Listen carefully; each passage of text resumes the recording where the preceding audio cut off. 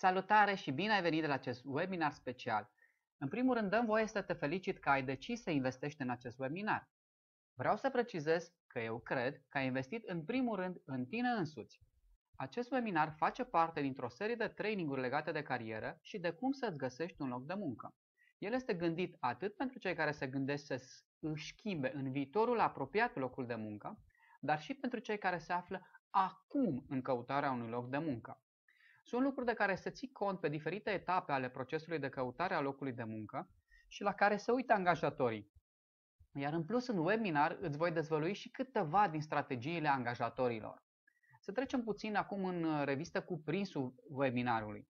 Vom discuta despre mituri în carieră, despre căutarea unui job, despre tips and tricks legate de CV, despre cum să te pregătești pentru interviu, ce să faci sau să nu faci în timpul interviului, greșeli la interviu pe care să le eviți, întrebări capcană pe care le folosesc angajatorii, tipuri de interviuri pe care le folosesc angajatorii și alte sfaturi utile legate de locul de muncă. Prin urmare, îți recomand să urmărești cu căldură până la capăt, cu mare atenție, acest webinar, întrucât sunt convins că vei descoperi lucruri utile pentru tine la care nici măcar nu te-ai fi gândit. Pe de altă parte, aș fi îngrijorat dacă din uh, sugestiile și lucrurile pe care le voi aminti în acest webinar, tu nu ai fi știut dinainte nici măcar unul. Am să încep cu câteva mituri în carieră, apoi am să continui cu lucrurile de care se ții cont în căutarea unui loc de muncă. Primul mit. Nu îți poți câștiga existența făcând ceva ce îți place cu adevărat. Acesta este cel mai mare mit credința că nu poți avea o carieră făcând ceea ce te pasionează. Mulți consideră că trebuie să fie sau una sau alta. Acest mit își are rădăcina în frică, în teamă, teama că trebuie să ne sacrificăm fericirea pentru a ne câștiga traiul. Nu cred în mitul că nu poți face bani făcând ceea ce iubești să faci. Dacă te regăsești crezând în acest mit, puneți următoarea întrebare. Când o să mă uit înapoi la viața mea, ce o să regret cel mai mult? Că mi-am urmat fricile, temerile sau că mi-am urmat pasiunea. Sunt convins că o să regreți că ți-ai urmat fricile, așa cum cunosc foarte, foarte mulți oameni care regretă că nu și-au urmat pasiunea. Adevărul este că angajatorii caută persoane pasionate de ceea ce fac. Deci mai bine să alegi jobul în care faci ce-ți place decât să alegi un job de dragul jobului sau că ești obligat să ai unul. Sigur, uneori suntem obligați să prestăm o meserie sau să fim într-un loc de muncă care nu ne place. Însă pe termen lung nu putem avea o carieră solidă și prosperă dacă nu alegem să facem ceea ce ne place. Al doilea mit. Este o economie grea. Chiar și atunci când ziarele sau alte surse de știri spun că rata șomajului rămâne constantă, că numărul de locuri de muncă nu a crescut sau că stăm în creștere economică redusă, înceată sau chiar deloc, să nu crezi este un mit, pentru că nu prezintă întreaga poveste. De fapt, adevărul este că piața muncii este doar diferită azi. Economia se schimbă. Cum tranziționăm de la un job la altul este diferit. Procedurile de angajare sunt diferite. Deci piața muncii s-a schimbat, dar asta nu o face neapărat mai dură. Ceea ce o face dură este că noi suntem mai puțin adaptabili la schimbare. Ținem mult la vechile practici, obiceiuri și așteptări. Și Asta nu înseamnă neapărat că vechile obiceiuri nu funcționează și astăzi, doar că sunt mai puțin eficiente. Așa că vreau de la tine să crezi că piața muncii este perfect așa cum este pentru a-ți găsi de lucru. Dacă pornești de la această premiză, ești mai aproape de succes. Cei care au adoptat această premiză, în scurt timp, majoritatea găsesc ponturi pentru joburi sau își fac contacte importante care le folosesc ulterior pentru a-și găsi un loc de muncă. Adevărul este că sunt numeroase locuri de muncă, iar angajatorii consideră la rândul lor că este greu să găsești azi candidați potriviți și ei sunt în continuă căutare de oameni buni și performanți. Al treilea mit. Schimbarea carierei este riscantă. Ce este mai riscant decât să lași în urmă ce știi și să te îndrepți către necunoscut? E o întrebare și un sentiment care ne împiedică să facem schimbări. În plus, ar putea însemna să recunoști că ai făcut o greșeală când te-ai gândit inițial la cariera actuală. Sau ar putea însemna să recunoști faptul că ești nesigur pe ce va urma. Și oamenii puternici, uh, deștepți, uh, știu mereu ce urmează, nu e așa? Schimbarea carierei cu succes cel mai adesea nu are la bază un plan riguros. S-a dovedit că așteptarea după un plan perfect este mai riscantă decât acțiunea și experimentarea. Nimic, dar absolut nimic, nu e mai riscant decât să nu-ți schimbi cariera dacă tu asta îți dorești în adâncul sufletului tău. Și iată de ce. Dorința nu va dispărea. Va fi mereu acolo, sub suprafață, așteptând să faci ceva în legătură cu asta. Al patrulea mit, al patrulea lucru de care o să vorbim astăzi. Să ai mereu un plan de rezervă. Câteodată un plan de rezervă este o decizie înțeleaptă înainte de a acționa. Însă uneori planurile de rezervă îți împart energia. Energie împărțită înseamnă rezultate împărțite. Dă tot ce ai visului, pasiunii tale și ai o șansă mai mare de succes. Decât să te gândești tot timpul că ai un plan de rezervă și să nu fii dedicat și focusat 100% pe ceea ce faci, mai bine să nu ai un plan de rezervă. Al cincelea mit. Există un job, un singur job perfect pentru toți. Cât de mult ai căutat după al tău? O știi, înăuntrul tău, că există undeva un job, jobul perfect pentru tine. Un job care se potrivește cu personalitatea, aptitudinile și interesele tale la fix și se plătește și bine. Dacă doar ți-ai dat seama, ah, dacă ai ști care este, ce bine ar fi. Există oare un job perfect, un singur job perfect pentru tine? Nu. Dar vestea bună este că sunt mai multe joburi perfecte pentru tine, chiar mai multe decât îți poți imagina. Sunt șanse mari ca deja să fii ajuns destul de aproape de câteva dintre aceste joburi perfecte, doar că nu ai știut că sunt joburile perfecte. Deci, uh, ce s-a întâmplat că nu le-ai recunoscut? Ai văzut vreodată cadoul perfect pentru cineva, însă mai erau câteva luni până la ziua de naștere și atunci uh, ai decis să nu-l cumperi încă? Și atunci când mergi mai târziu să cumperi acel cadou, nu îl mai găsești. Altă oportunitate pierdută, din nou nu ai fost decis și te învinovățești pentru că nu l-ai cumpărat prima dată când l-ai văzut. Așa și cu locul de muncă. Poate ai întâlnit jobul perfect în trecut, însă din cauza indeciziei ai pierdut oportunitatea. Sau poate erai concentrat spre altceva și ai pierdut un indiciu evident cum că acela ar fi jobul perfect. Acum, în loc să te gândești la trecut pe care nu-l poți schimba, promiteți că o să ții ochii deschiși și că ai să vezi dincolo de ce este evident. Al șaselea lucru, al șaselea mit. Care este cel mai bun lucru de făcut pentru mine? Este întrebarea la care trebuie și vreau neapărat să-i găsesc răspunsul. Acesta este un mit pentru că mm, este una dintre cele mai comune întrebări atunci când se iau în considerare o schimbare de carieră și pare o analiză logică să cântărești beneficiile cu eforturile și să evaluezi balanța. Nu-ți mai pun această întrebare. Rare ori te ghidează către răspunsurile potrivite pe care le cauți. Întrebarea care te, care te va conduce către răspunsuri pe care ar trebui să ți-o pui este simplă, dar nu ușoară. Aceasta este ce vreau cu adevărat să fac. Este o întrebare foarte diferită de ce este mai bine să fac. Al șaptelea mit. Singura cale pentru a-ți da seama dacă ești în cariera potrivită sau nu este să te gândești dacă îți place sau nu jobul tău. Mulți gândesc astfel. Dacă nu ești satisfăcut de jobul actual, este probabil un semn că trebuie să îți reexaminezi întreaga carieră. Mulți presupun că ceva nu este în regulă cu cariera lor pentru că nu le place serviciul lor. Presupunerea naturală este că nemulțumirea legată de job este un simptom al alegerii carierei nepotrivite. Acesta este un exemplu de logică falsă. Că nu-ți place jobul tău îți poate spune eventual că ești în postul greșit. Nu înseamnă neapărat că ești în cariera greșită. De fapt, nici măcar că ești în postul greșit nu înseamnă.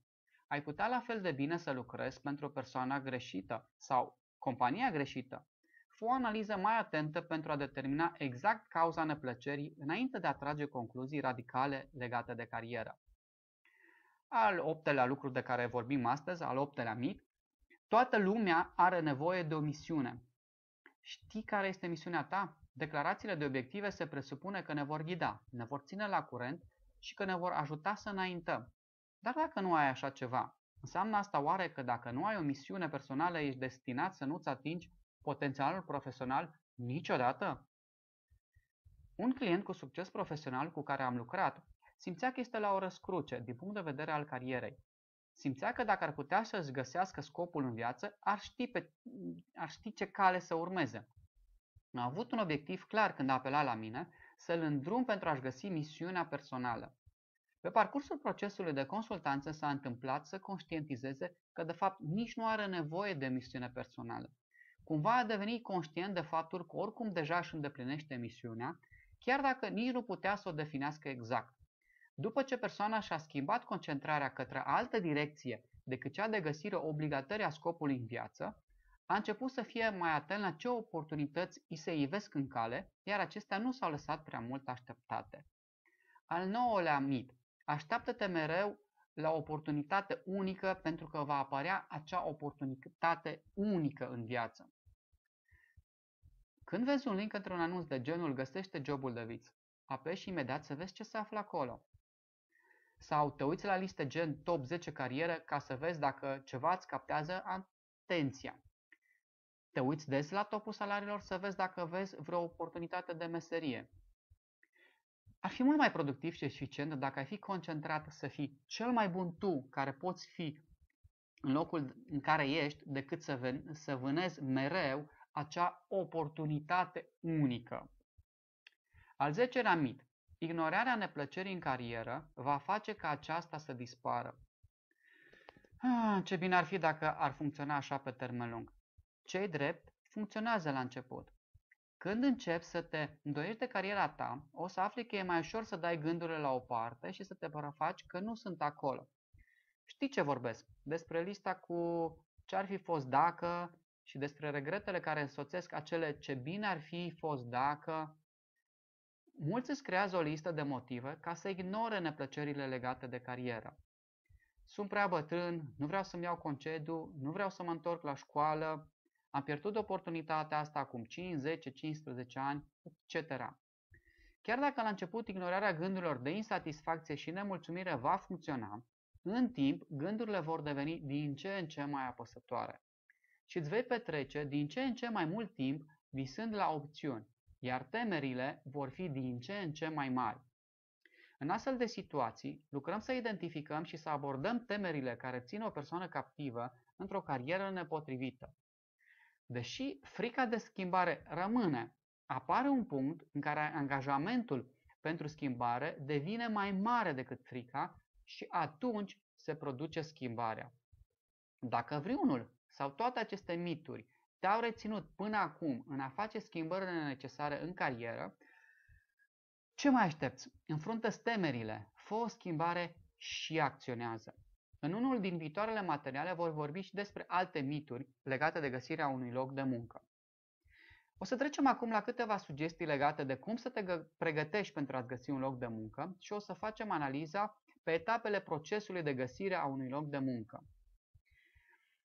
În primul rând, tratează găsirea unui job ca pe un proiect. Este a 11-a, a 11 sugestie pe care o fac în acest material. Ce înseamnă să tratezi căutarea unui job ca un proiect? Asta înseamnă că trebuie să stabilești niște obiective personale, să faci planuri și să monitorizezi progresul. Evident, căutarea unui loc de muncă este un proiect important. Cu cât îl termini mai repede, cu atât mai repede vei obține jobul dorit. 12. Fii propriul tău șef. Stabilește-ți obiective de acțiune și monitorizează-ți munca și progresele făcute. Acordă-ți un timp săptămânal pentru a-ți evalua performanța. Îți recomand să faci asta scriind două rapoarte. Primul să fie o evaluare sumară a ceea ce ai realizat săptămâna trecută. Al doilea să fie o descriere a planurilor pentru săptămâna următoare. Planurile ar trebui să includă obiectivele, acțiunile și prioritățile pe care dorești să le atingi. Cum să începi? Prima oară când scrii aceste rapoarte, scrie o evaluare a ceea ce ai făcut până acum. Fă o analiză a rezultatelor raportate la ce eforturi ai depus. Pasul următor, fă un plan realistic pentru săptămâna viitoare bazate pe obiective mai ușor de atins. De exemplu, Poți seta obiective pentru numărul de persoane sunate sau numărul de conferințe de networking la care vei participa sau căutările pe care le vei face. Apoi, în următoarea săptămână, compară rezultatele obținute cu obiectivele setate. De exemplu, dacă ai planificat să participi la 8 întâlniri de networking și ai participat doar la două, atunci ar trebui să explici de ce s-a întâmplat asta și să plănuiești acțiuni care vor corecta această diferență. Ar trebui de asemenea să analizezi care sunt cauzele pentru care nu ai atins obiectivul, pentru că asta îți va oferi informații despre ce să faci diferit. De exemplu, obiectivul tău, participarea la 8 întâlniri de networking, ar putea să fie prea mare sau poate sunt anumite lucruri pe care le poți face pentru a face mai ușoară atingerea obiectivelor de căutare. Al 13-a sugestie. Găsirea unui loc de muncă este și ar trebui să fie și în cazul tău ca un job full-time. Lucrează folosindu-te de un plan de lucru și de suportul unui șef bun. Tu însuți. A 14-a sugestie. Caută locuri de muncă și în alte locuri decât cauți în mod obișnuit. Cauți mereu joburi pe aceleași platforme? Dacă da, atunci îți reduci șansele de a afla de locuri de muncă apărute în alte locuri. Companiile, în special cele mici și mijlocii, nu folosesc neapărat platformele bune, bine cunoscute, ci de multe ori apelează la canale alternative. Caută deci mai multe locuri unde angajatorii postează anunțuri de angajare. Să trecem acum la CV. Scrie CV-ul cu gândul de a convinge angajatorul să te programeze la interviu. Este o greșeală să te gândești la CV ca la un istoric al tău sau ca o simplă descriere personală. Desigur, cel mai mult conținut al oricărui CV este focusat pe experiență profesională, dar scrie-l cu intenția de a crea interes, de a convinge angajatorul să te sune. Dacă scrii cu acest obiectiv în gând, CV-ul final va fi foarte diferit decât doar ai vrea să informezi despre joburile trecute. A 16-a sugestie, ține cont de faptul că CV-ul tău este biletul de intrare la un interviu. Cei mai mulți oameni scriu un CV doar pentru că sunt obligați. Nu e așa? Pentru că toată lumea știe că trebuie să ai un loc, să ai unul pentru a obține un loc de muncă. A mulți nu le face plăcere când scriu CV-ul și o fac ca pe o, ca pe o corvoadă. În ierarhia obligațiilor și a modului care ne raportăm la îndeplinirea obligațiilor, scrierea CV-ului este o activitate care generează stări care nu sunt parte de stările care ți le generează obligația de a plăti taxele. Însă, dacă conștientizezi că un CV grozav poate fi biletul tău de intrare către jobul pe care îl dorești, îl vei completa cu mai mult entuziasm și cu mai multă atenție și astfel vei putea crea un CV care să fie mult mai atractiv decât majoritatea CV-urilor. Partea bună este că cu puțin efort poți crea un CV care te va face un candidat de luat în vedere pentru jobul pe care îl cauți. Deci, chiar dacă competiția e acerbă, cu un CV bine scris, ar trebui să fii invitat la interviuri mai, de, mai des decât mulți alții, chiar și mai calificați decât tine. 17. Acordă-ți timp pentru a-ți completa CV-ul. Pune deoparte cel puțin 3 ore. Aceasta este durata medie de completare a unui CV bun, dacă totul merge ca pe roate. Înainte de a începe, Printează ideile din acest material și lipește-le pe monitor sau pe perete sau undeva unde să le poți vedea în timpul procesului ca să te poți inspira. 18. CV-ul este despre viitorul tău, nu despre trecut. CV-ul nu este o confesiune. Cu alte cuvinte, nu trebuie să scrii tot trecutul tău. Scrie doar ce este relevant pentru postul pentru care candidezi, scrie doar ce te vinde. 19. Nu scrie niciodată despre lucruri pe care nu vrei să le repeți. Promovează doar aptitudini care îți plac. Și fii onest, poți fi creativ, dar nu minți. A 21. Fii specific în obiectivul pe care îl treci în CV. Dacă obiectivul tău ar putea fi potrivit pentru un post în marketing, la fel de ușor ca pentru un post de contabil, atunci obiectivul nu va spune nimic și nu, va, nu te va duce niciunde. Obiectivul tău ar trebui să varieze și să fie adaptat în funcție de jobul la care aplici. nu include informații relevante despre joburile trecute. Să luăm un exemplu. Responsabilitățile mele includ și supravegherea a patru hoteluri de pe litoral, fiecare cu câte 100 de cameră. Așa și ce? Dacă treci asta în CV, asta nu spune nimic concret. De exemplu, dacă ai avut bugete de gestionat. Nu spune dacă ai luat toate hotelurile de la fundație sau dacă tipul care s-a ocupat de două din cele patru hoteluri a fost concediat și tu ai fost promovat să le supraveghezi pe toate patru. Fii mai specific, deci, în CV. 23. CV-ul tău nu este o poveste, deci nu scrie în CV-ul tău la persoana a treia. 24. A fi cool e un lucru bun, dar nu când îți cauți un loc de muncă. Adrese de e-mail de contact gen de 800 rondxyz.com sau pisicuțeara, pisicuțearia aronyahoo.com sau bmw vip 007 aronyahoo.com nu sunt o idee prea bună. Vezi și dacă pagina ta de social media spune ceva despre tine din punct de vedere al angajatorului sau al managerului. De asemenea, reține că CV-ul tău și pagina unde postezi pentru angajator sunt un document business. CV-ul este un document business, pagina unde postezi este un document business. Și nu este platforma ta pentru a-ți exprima părerea politică sau alte lucruri care pot să nu te pună într-o lumină favorabilă. 25. Nu trece informații prea personale. S-ar putea să crezi că jocul de fotbal din weekend sau participarea la corul bisericii arată că ești o persoană interesantă și echilibrată, dar sunt irelevante. Dacă angajatorul vrea să știe cine ești tu ca persoană, dincolo de experiență și calificări, va întreba. Să trecem acum să vedem ce să facem la interviu. Și vom începe cu pregătirea acestuia. Pregătirea începe cu câteva zile sau uneori chiar cu o săptămână înainte de interviu.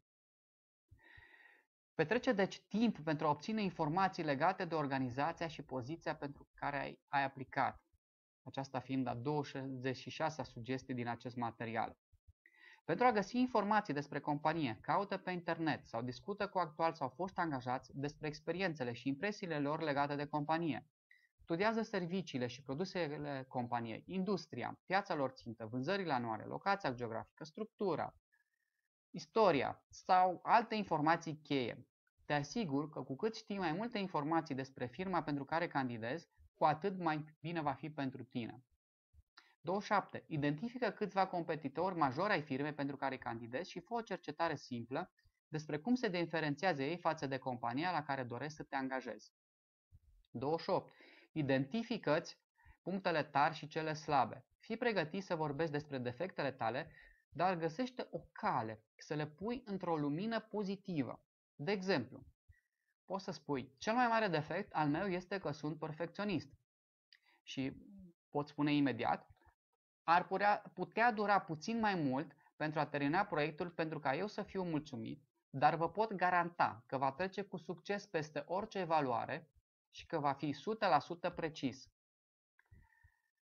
29. Pregătește câteva întrebări inteligente despre companie și postul pentru care candidezi, care vor demonstra cunoștințele tale despre companie, dar și interesul sincer pentru poziția pentru care candidezi. Acum să trecem la câteva lucruri de care să ții cont cu o zi înainte de interviu. Contactează compania să confirm ora și data pentru interviu. De asemenea, confirmă numele și titlul persoanei cu care te vei întâlni. A 31 sugestie. Solicită ghid, ghidaj către locația interviului. Fii sigur că verifici de două ori folosindu-te și de o hartă. Așa te vei asigura că vei găsi drumul și de asemenea vei avea o aproximare pentru timpul de deplasare. Și nu uita să rezervi timp și pentru ora de vârf. 32. Calcă ținuta pentru interviu, verifică și să nu fie pătată. 33. Printează o copie a CV-ului și a scrisorii de intenție pe o hârtie bună. Chiar dacă intervievatorul are o copie proprie, este întotdeauna o idee bună să ai o copie de rezervă. Asta ajută și mai mult dacă ajungi să fii intervievat de mai multe persoane, având în vedere că doar liderul lor ar putea fi singura persoană care să aibă la el o copie a CV-ului tău. Mai departe, asigură-ți un somn bun. Un amănunt aparent minor, dar care contează. De asemenea, programează interviuri în intervale care sunt mai bune pentru metabolismul tău. Ești o persoană care se trezește de vreme? De ce ai accepta un interviu la 6 seara? Dacă ești o persoană care funcționează cel mai bine după masă, încearcă să nu accepti programări dimineața. Dacă ești o persoană care funcționează cel mai bine cu stomacul plin, încearcă să-ți programezi întâlnire la orele în care obișnuiești să mănânci. Să trecem acum la ziua interviului. Creierul tău are nevoie de energie pentru a fi la capacitatea optimă și dacă este vreo zi în care ai nevoie de 100%, chiar 110% din creierul tău, acea zi este astăzi, ziua interviului. Așa că nu sări peste mese. Fii atent să nu mănânci mulți carbohidrați chiar înainte de interviu, întrucât anumiți carbohidrați sunt cunoscuți că cauzează moleșeală, care ar putea duce la o stare de somnolență. Fă o ultimă revizuire a aspectului tău. Fii atent la detalii și ține minte că o primă impresie poate spune multe despre tine și caracterul tău. Nu uita deci să ai la tine copii ale CV-ului, scrisoarea de intenție și portofoliul dacă ai unul. Fii sigur apoi că ai destul timp să ajungi la interviu. Dacă ajungi cu mai mult de 15 minute înainte, cel mai bine este să aștepți în mașină sau în afara clădirii. Sosirea timpurie dă impresia că depinzi prea mult de interviu și nu ai altceva mai bun de făcut și de asemenea pune presiune pe intervievator prin faptul că se simte nevoit să schimbe programul pentru tine. Ține cont în estimarea timpului că uneori ai nevoie de câteva minute pentru a trece de formalitățile de securitate, securitate a clădirii în care se vor desfășura mm, interviurile. Asta ca să ajungi la timp la interviu. Ideal ar fi să ajungi la clădirea unde are loc interviul cu 7-10 minute înainte. Dacă este vară, așteaptă în hol ca să te răcorești puțin. Nimănui nu-i place să strângă mâini transpirate. Dacă este iarnă, încălzește-te. Nu vrei ca prima impresie a cuiva să înceapă de la strângerea unei mâini reci. Rezervă-ți câteva minute în hol și pentru a te concentra la ce o să spui. Apoi, relaxează-te. Dacă ți-ai făcut temele, ești pregătit pentru interviu. Trage aer adânc în piept și adună-ți gândurile. Când îți auzi apoi numele, stai drept și zâmbește, strânge mâna intervievatorului și evaluează imediat ca și persoană. Sunt deștepți sau nu? Agresiv sau nu? Dacă ai fi întâlnit această persoană într-un context social, sunt sigur că instinctele tale ar fi cele corecte. Dacă tinzi să ai dreptate în situații sociale, în legătură cu oamenii pe care îi întâlnești, ai încredere și în instinctele profesionale atunci. Făți introducerea spunând, numele meu este și am un interviu la ora 1.30 cu. Zâmbește și strânge mâna tuturor când îi întâlnești pentru prima oară la fel și când se termină interviul. Dacă ești întrebat dacă îți poți atârna geaca, dacă îți pot ei atârna geaca, acceptă oferta. Dacă îți este oferită o băutură, acceptă băutura. Îi face să se simte bine atunci când nu sunt refuzați.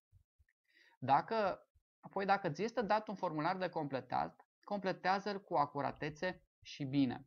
Nu atașa CV-ul tău și scrie vezi CV-ul atașat. Un formular este un document legal și eșecul în a-l completa corect poate însemna terminarea interviului. Scrie apoi eligibil. Asta ar putea fi și al 12-lea formular pe care îl completezi, dar este primul din partea ta pe care ei îl văd. În multe profesii, neglijența este văzută ca un defect. O să trecem acum la ce să facem în timpul interviului, dar aș vrea să fac următoarea precizare. Poate ai observat că nu am mai citit numerotarea fiecărei sugestii pe care am făcut-o în aceste ultime minute, pentru că am considerat că este mai uh, bine și mai ușor de înțeles să trec cursiv prin uh, sugestiile pe care le-am oferit. Tu pe monitor poți vedea însă numerotarea exactă a sugestiilor pe care uh, am făcut-o și pe care o să o fac în, în continuare. Să ne întoarcem așadar în timpul interviului. Este important uh, limbajul corpului și o să vorbim puțin despre importanța limbajului corpului într-un interviu. Vom începe cu strângerea mâinii și cu sugestia de a strânge mâna corect. Unul din primele lucruri pe care probabil le vei face la un interviu este să strângi mâna intervievatorului. Strângerea mâinilor este un simplu simbol al introducerii, dar poate fi de asemenea un aspect non-verbal al personalității. Managerii angajatori spun că o strângere ușoară sau hiperentuziastă, evident că nu va distruge un interviu, dar ar putea cauza pornirea cu stângul. La fel și pentru o mână transpirată. Pentru a soluționa problema respectivă, fi sigur că ții mâinile deschise, nu ținute pum înainte de interviu. Asta va reduce transpirația. Pune și niște servețele în buzunar în caz că ai nevoie. Când dai mâna, prinde mâna intervievatorului ferm, dar nu exagera. În timpul interviului foarte important este să menții contactul vizual. Lipsa contactului vizual într-un interviu îl poate face pe intervievator să creadă că ești timid, dezinteresat sau că minți. De asemenea, luându-ți privirea de la intervievator, poate de asemenea să transmită un mesaj greșit. Nu e bine nici să te holbezi la intervievator până în punctul în care îl faci să se simtă inconfortabil. Menține contactul vizual atât cât simți că este nevoie. Dacă vorbești cu mai multe persoane, îți poți schimba atenția privirii astfel încât să fii sigur că te uiți la fiecare în ochi pentru cel puțin câteva secunde. Fii în continuare atent la limbajul corpului uh, și aș vrea să precizez aici că termenul limbajul corpului include aproape orice mișcare, gest sau postură care ar putea oferi însemnătate pentru observator. Limbajul corpului este important într-un interviu, deoarece intervievatorul va fi atent la gesturile non-verbale, la fel de mult ca la ceea ce ai de spus. Ca și limbaj corporal de evitat în, într-un interviu, amintesc aici încrucișarea repetată a mâinilor și a picioarelor. Să te joci cu părul sau cu hainele, uh, să-ți atingi des fața, să te scarpini pe cap sau uh, să te joci cu un buton sau cu un pix. Repetarea în prealabil a interviului și a întrebărilor te pot ajuta să te simți mai relaxat. Limbajul corpului care ți-ar putea oferi un avantaj include aplecarea puțin, foarte puțin în față, pentru a arăta entuziasm. Apoi mișcarea ușoară a capului, oricând este necesară, poți să o faci, în special atunci când intervievatorul prezintă ceva important. Zâmbește când o simți. Zâmbitul Semnul universal al fericirii este o metodă bună de a convinge intervievatorul că ești cu adevărat bucuros că ești acolo. Pe de altă parte, un rânjet folosit prea des în interviu ar putea avea rezultatul opus. Intervievatorul tău va ști când te forțezi să te comporți într-un anumit fel. Potrivit Discover Magazine, când o persoană este sincer amuzată, o parte din creier este activă, conducând la contractarea inconștientă a anumitor mușchi faciali. Un zâmbet forțat, pe de altă parte, folosește o grupă diferită de mușchi. De aceea este în general ușor să deosebești o persoană care zâmbește cu adevărat de una care mimează. Gândește-te apoi la spațiul personal. Culturile individuale și chiar și oamenii individuali au interpretări diferite despre ceea ce constituie mărimea spațiului personal. În timp ce o persoană simte nevoia de a vorbi la câțiva centimetri de fața altuia, altă persoană ar putea avea nevoie de câțiva metri. Când ești față în față cu intervievatorul, gândește-te la cât de aproape ești. Încearcă să menții o distanță de aproximativ uh, 1,5 metri. Comunicarea mai apropiată ar putea să-l facă pe angajator să se simtă inconfortabil. Pe de altă parte, să stai mult prea departe este nepoliticos. Acum să trecem în revistă câteva arme secrete folosite de angajatori și anume întrebările capcană care le folosesc în interviuri. Intervievatorii folosesc anumite întrebări capcană, adică lasă impresia candidaților că urmăresc un anume lucru când de fapt ei urmăresc cu totul altceva. Prin aceste întrebări încearcă să testeze, să încurce sau să provoace candidații. Aceste întrebări de cele mai multe ori sunt descalificatoare. Ca și regulă generală, când răspunzi la întrebări într-un interviu, e bine să reții că răspunsurile tale trebuie să fie pozitive sau într-o notă pozitivă sau neutră și astfel poți evita descalificarea generată de aceste întrebări capcană. O să iau acum și o să analizez câteva din întrebările care sunt cel mai des întâlnite în interviu. Prima pe care să o analizăm, a 3, 53-lea lucru de care să ținem cont, pe care îl sugerez în acest material, și hai să vedem întrebarea, poți să-mi dai un exemplu când ai dat-o în bară? Hmm, întrebare capcană. Dacă răspunzi că nu ai dat-o niciodată în bară, nu ești credibil. Dacă spui că ai dat-o în bară, atunci uh, își va face angajatorul o impresie proastă. Și uh, cum răspunzi atunci? Soluția este să exemplifici o situație în care ai dat-o în bară neintenționat și să pui accentul pe ce ai învățat din acea situație. De fapt, angajatorul prin această întrebare vrea să determine capacitatea ta de a învăța din greșeli și de a nu repeta la nesfârșit aceleași greșeli. Următoarea întrebare. Ce puncte slabe ai pentru acest job? Hmm, din nou întrebare capcană. Nu spune niciodată ceva negativ. Varianta cea mai bună este să te gândești puțin și să răspunzi că hmm, nu te poți gândi la niciun punct slab care te-ar împiedica să performezi la acest job sau să aibă impact negativ asupra postului sau responsabilităților pe care le implică. Următoarea întrebare. Ce te aștepți să primești la acest loc de muncă și care la jobul precedent nu ai primit? Întrebare capcană. Nu spune nimic negativ. Spune că joburile precedente sau cel curent au fost la nivelul așteptărilor tale sau a depășit așteptările tale.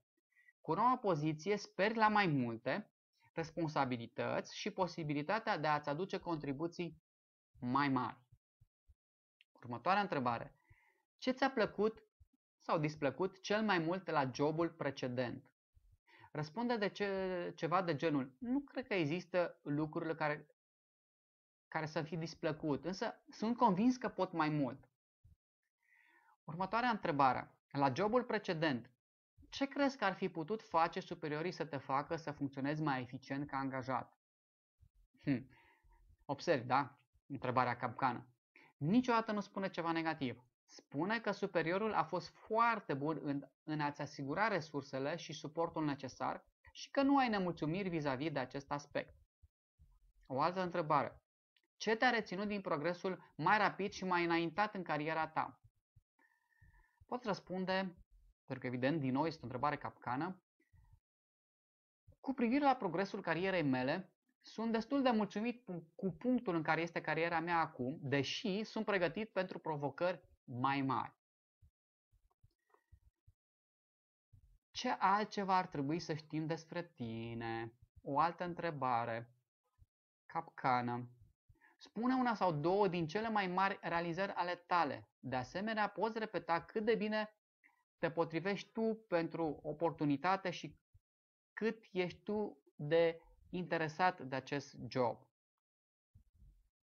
Altă întrebare. Spunem despre cel mai bun rău șef pe care l-ai avut. Hmm. O nouă întrebare capcană, deci nu spune nimic negativ. Spune că deși fiecare superior a fost diferit, tu ai lucrat bine cu ei și ai învățat câte ceva de la fiecare. Fii pregătit să dai niște exemple despre ce ai învățat. Următoarea întrebare. Tuturor le place să critique. Ce critică oamenii la tine? Hm. Subliniez. Întrebare capcană. Ține minte, nu spune nimic negativ. Spune că nu te poți gândi la nicio critică primită din partea colegilor de muncă. Desigur, au fost zone de dezvoltare, cum ar fi atunci când superiorii ți-au oferit feedback-ul la evaluarea anuală sau trimestrială și s-ar putea să fi făcut o sugestie pentru îmbunătățire. Spune că mereu ai luat aceste sugestii în serios și ai urmat niște pași pentru îmbunătățire și că asta te-a făcut mai puternic profesional. Și ar fi foarte bine să poți și enunța un exemplu în acest sens. Următoarea întrebare. Toată lumea are obiceiuri proaste. Care sunt ale tale? Mm, întrebare capcană. Ai grijă să nu spui nimic negativ. Vorbește despre standardele tale profesionale înalte. Singurele tale obiceiuri proaste ar fi că muncești prea mult și nu accepti mediocritatea sau că țintești mereu să-ți atingi potențialul maxim la job, etc. Da? Am văzut uh, acum câteva întrebări capcană. O să trecem în revistă și câteva greșeli la interviu. Sper că ți-au plăcut în aceste întrebări capcană. Te rog să le reiei, să le revizuiești, să le reasculți, pentru că ele, așa cum spuneam, uneori sunt descalificatoare într-un interviu. Să trecem acum la greșelile la interviu și este evident că pentru mulți interviul este cea mai stresantă parte din procesul de căutare a unui job și evident că un număr mare de lucruri pot merge prost și mare parte din succesul într-un interviu se datorează evitării greșelilor.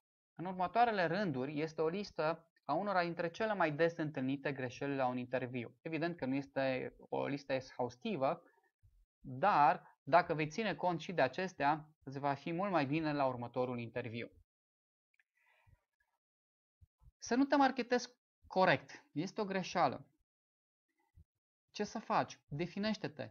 Ce te face diferit de ceilalți? Trebuie să știi punctele tari și realizările care au legătură cu jobul la care aplici și de asemenea cu compania. O altă greșeală. Să nu pui întrebări relevante. Soluția este să ai cel puțin 3-4 întrebări inteligente pentru angajator. Este ok să le ai scrise dinainte și să faci referințe la ele la momentul potrivit. Interviurile sunt un schimb de informații și când nu ai întrebări, arată că tu nu ești pregătit pentru interviu. O altă greșeală, ținuta inadecvată pentru interviu. Ținuta business și atenția la detalii încă contează. Nu poți fi niciodată prea profesional. Ține minte că totul, imagine, tonul vocii, contribuie la impresia negativă sau pozitivă pe care o faci. Fii prezentabil, poartă un costum și niște papuci lustruiți. Dacă ești o doamnă, și, adică de persoană de sex feminin, deci nu se pune problema că n-ai fi o doamnă, ci, deci dacă ești o persoană de sex feminin, la fel, sugestia este să ai o ținută business. O altă greșeală, să nu fii tu însuți. Îți recomand să fii tu însuți și să fii onest. Nu te prefă că înțelegi o întrebare sau o anume exprimare dacă nu e așa. Intervievatorul se va prinde. Dacă nu știi un răspuns, spune că nu știi. E mai bine decât să bați câmpii. Relaxează-te și fii tu însăți. O altă greșeală, să nu asculți. Concentrează-te la întrebarea pusă de intervievator și nu încerca să o anticipezi pe următoarea. Este ok să faci o pauză să-ți culegi gândurile înainte de a răspunde. Fii atent mai ales la subiectele tehnice legate de job care sunt specifice pentru o anumită firmă sau organizație. S-ar putea ca intervievatorul să-ți fi oferit informațiile de care ai nevoie să răspunzi la o anumită întrebare cândva mai devreme în conversație. Angajatorii se vor uita la abilitatea ta de a asimila noi informații, de a le reține și, cel mai important, de a recunoaște o anumită informație care ți-a fost livrată la un moment dat. Următoarea greșeală pe care o să o amintim și pe care o să o eviți, să nu oferi destule detalii. Când răspunzi la întrebări legate de un caz, o situație, întrebări tehnice sau um, rezolvi anumite probleme tehnice, nu răspunde sec și scurt. Intră puțin în detalii. Angajatorii sunt mult mai interesați de multe ori să vadă cum funcționează mintea ta și cum ataci anumite tipuri de probleme decât răspunsul în sine. Evident, și o intrare prea mult în detalii um, poate să dăuneze. E o linie fină între um, locul sau este o linie fină între momentul în care trebuie să te oprești din a da detalii și a da detalii. Și asta este o artă care o poți uh, stăpâni și exersa dacă te pregătești dinainte și faci câteva stimulări de interviuri. O altă greșeală, să manifesti o lipsă de entuziasm în timpul interviului. Ce poți face? Îți recomand să menții contactul vizual, să nu-ți fie teamă să arăți pasiunea ta pentru job sau industrie și să arăți încredere. O să-ți dezvoli în continuare, acum că am trecut și uh, prin uh, greșelile care să le eviți la interviuri și prin întrebări capcană. O să-ți dezvălui alte câteva unelte din arsenalul angajatorilor și anume ce tipuri de interviuri folosesc angajatorii pentru angajare. Primul tip de interviu, screening interview. Un membru din Departamentul de Resurse Umane de obicei conduce acest interviu care este menit să trieze din candidații necalificați și acest tip de interviu poate fi chiar și telefonic. În acest tip de interviu este important să oferi informații despre aptitudinile tale. Intervievatorii vor lucra din perspectiva unor puncte cheie necesare pentru postul pentru care candidezi. Ei vor căuta puncte slabe în CV-ul tău și vor verifica calificările tale. Rezumă-te să dai răspunsul la întrebările lor și nu oferi niciodată informații adiționale. Acea informație suplimentară se poate întoarce împotriva ta. Un alt tip de interviu, interviul 1 la 1. În acest interviu a fost stabilit deja că ai aptitudinile și educația necesară pentru post. Intervievatorul vrea să vadă dacă te vei potrivi în companie și cum vor completa aptitudinile tale restul departamentului. Obiectivul tău într-un interviu 1 la 1 este să-i arăți intervievatorului aptitudinile tale care vor fi benefice pentru companie. Interviul stres este următorul tip de interviu pe care o să îl analizăm. Aceste interviuri sunt de obicei niște încercări deliberate să observe cum te descurci. Intervievatorul ar putea să fie sarcastic sau excesiv de argumentativ sau să te facă să aștepți.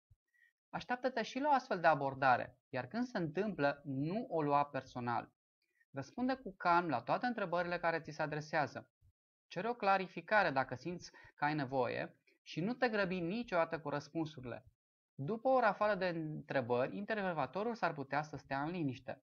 Recunoaște asta ca o tentativă de a te detensiona. Așteaptă în liniște până când intervievatorul va reîncepe cu întrebările. Dacă treci un minut, întreabă dacă are nevoie de explicații legat de ultimile tale comentarii. Următorul tip de interviu, interviul la prânz. Aceleași reguli se aplică în interviurile de prânz, la fel ca în cele ținute la birou. Săptarea poate fi mai casual, dar amintește-ți că este un prânz de afaceri și că ești urmărit cu atenție. Utilizează interviul de prânz pentru a dezvolta un teren comun cu intervievatorul. Urmează-l în alegerile culinare pe care acesta le are. Alt tip de interviu. Interviul comitet. Aceste tipuri de interviu, interviurile comitet, sunt o practică comună. O să fiți față în față cu câțiva membri ai companiei care au ceva de spus dacă vei fi sau nu angajat. Când răspunzi la întrebări din partea mai multor oameni, vorbește direct către persoana care a pus întrebarea. Nu este necesar să răspunzi grupului. În anumite interviuri, comitet, s-ar putea să fii rugat să-ți demonstrezi abilitățile de rezolvare a problemelor. Comitetul atunci va prezenta o situație și te va ruga să formulezi un plan care să rezolve problema. Tu trebuie să vii cu soluția supremă. Intervevatorii caută, de fapt, să vadă cum aplici cunoștințele și aptitudinile într-o situație din viața reală. Interviul de grup este de obicei făcut pentru a dezvălui potențialul de leadership a posibilor manageri și angajați care vor avea de a face cu publicul. Candidații sunt strânși împreună într-un interviu informal tip discuție. Un subiect este introdus și intervievatorul va porni discuția. Obiectivul interviului în grup este să vadă cum interacționezi cu ceilalți și cum te folosești de cunoștință și de putere de negociere pentru a-i câștiga pe ceilalți. Dacă te descurci bine în interviul de grup, te poți aștepta să fii sunat pentru un nou interviu mai extensiv, care poate fi chiar unul la unul. Următorul tip de interviu, interviul comportamental. În timp, intervievatorii au creat tot felul de metode de a scăpa de, așa cum văd ei um, CV-urile sau unii candidați, buruienele dintre candidați, într-un efort de a determina care este cel mai bine calificat pentru job. Una dintre aceste metode este numită interviul comportamental.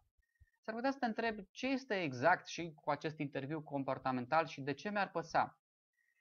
Interviul comportamental este o metodă standard de a scoate informații de la un candidat despre trecutul relevant și despre performanțele candidatului. Cuvântul cheie este relevant, însemnând cum ai acționat în situații din trecut, situații care s-ar putea regăsi și la jobul pentru care ai aplicat. Se consideră că comportamentul din trecut este cel mai bun indicator al viitorului comportament. Un intervievator bun va asambla toate aptitudinile necesare pentru un job și va pregăti o listă de întrebări um, de stil comportamental care au legătură cu ele. De exemplu, la fiecare întrebare s-ar putea să fie întrebat despre o situație, ce anume ai făcut și care au fost rezultatele. S-ar putea să fie întrebat sau abordat de felul Spunem despre o situație când ai avut foarte multe de făcut și ți s-a cerut să-ți prioritizezi sarcinile. Compară acest tip de întrebare, acest tip de abordare cu Spunem cum ți-ai prioritizat sarcinile dacă ai avea foarte multe de făcut. Observi diferența. În prima întrebare ai fost, întrebare, ai fost întrebat foarte specific ce ai făcut într-o situație anume, pe când cealaltă întrebare te-a rugat să descrii ce ai putea face la nivel teoretic. Cu toți avem intenții bune, deci ce vei spune că ai face nu înseamnă necesar automat că este chiar ce ai face. Și atunci mai bine se pun astfel de întrebări cu ceea ce ai făcut într-o anume situație. De aceea ți se pune întrebarea specifică pentru situații din trecutul tău. Pentru stilul comportamental trebuie să vii cu niște exemple solide din experiența ta și cum sunt ele relaționate cu jobul pentru care candidezi. Când răspunzi la întrebări, nu te lungi cu vorba. Fii specific și la subiect. Dar atenție, așa cum am mai spus, este o linie scurtă între a fi scurt și a nu da destule detalii. Cum să ne pregătim pentru acest tip de interviu? Ca și pentru orice interviu, trebuie să-ți faci temele. Trebuie să treci prin pregătirea normală, cum ar fi înțelegerea companiei, ce produse și servicii are compania. Poți afla cele mai multe astfel de informații de pe site-ul firmei. Dacă ai numele managerului angajator, fă o căutare după numele lui. A avut această persoană apariții în presă. Uneori poți afla multe despre persoana cu care ai interviu la o simplă căutare pe internet. Și acum să trecem și la alte sfaturi utile pentru cariera ta. Voi începe cu situația în care ești angajat. Sper, fac aici o paranteză, sper că și tipurile de interviu pe care le folosesc angajatorii să te ajută ca să te pregătească atunci când identifici în uh, practică aceste tipuri de interviuri și să știi la ce să te aștepți și cum să te pregătești. Scuze. Să ne întoarcem acum la ultime câteva sfaturi pe care o să ți le dau uh, în acest webinar și care sper să fie de asemenea utile. Și cum spuneam, voi începe cu situația în care ești angajat în acest moment. Asigură-te că este un balans între viața ta profesională și cea personală. Nu e timpul și cazul aici să detaliez cât de important este acest uh, balans pentru, pentru tine și pentru cariera ta. Următoare sugestie. Poate fi de folos chiar și atunci când ești angajat să verifici periodic ce alte posturi sunt valabile. Poți cere informații legate de diferite, de diferite joburi, pentru că acele informații îți pot arăta ce caută respectivii angajatori și ce se caută azi. O să-ți fie mult mai clar cât de valoros ești. Află dacă experiența și aptitudinile tale actuale sunt transferabile către alt domeniu. Și acum hai să vedem câteva sfaturi dacă ești fără un loc de muncă. Dacă ai rămas fără un loc de muncă, după ce a trecut șocul, încearcă să te uiți la situație ca la o schimbare pozitivă decât ca la o problemă. Deci ca și o posibilitate de schimbare pozitivă decât ca la o problemă. Apoi preia controlul acționând în loc să îți faci griji. Fă niște exerciții de brainstorming pentru a genera idei despre ce altceva poți face. Păi, câteodată să le spui și celorlalți despre grijile tale poate fi folositor pentru că s-ar putea să aibă experiențe similare și vor fi capabili să empatizeze cu tine și poate să-ți ofere câteva idei despre cum să gestionezi mai bine situația. O altă sugestie pe care ți-o fac, asigură-te că te poți adapta situației având grijă în special de sănătatea ta. Asigură-te că mănânci sănătos, că faci exerciții și dormi destul. Nu uita de sănătatea și organismul tău. Acestea au fost câteva din uh, sugestiile pe care ți le-am pregătit în acest material. Au fost 80 și ceva de lucruri de care să ții cont în căutarea unui loc de muncă. Fie că îți cauți un loc de muncă nou, fie că um, ești în căutarea unui loc de muncă pentru că nu ai în acest moment un loc de muncă. Cu siguranță sunt și alte materiale și te invit cu mare drag uh, să intri pe specialjobs.ro dacă nu ai intrat până acum, pentru că acolo vei avea acces la 3 traininguri uh, gratuite care vor completa și vor aduce mai multe informații despre cum să-ți găsești un loc de muncă. Cu siguranță informațiile pe care le-ai descoperit în acest material îți vor fi utile.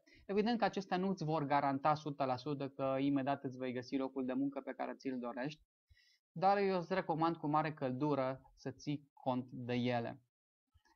Te rog uh, foarte mult să ne spui uh, dacă poți prin mail sau pe pagina noastră de Facebook opiniile tale cu privire la acest material, sugestiile tale și te așteptăm în continuare și pe grupul de Facebook unde vom discuta și vom împărtăși și alte lucruri legate despre carieră.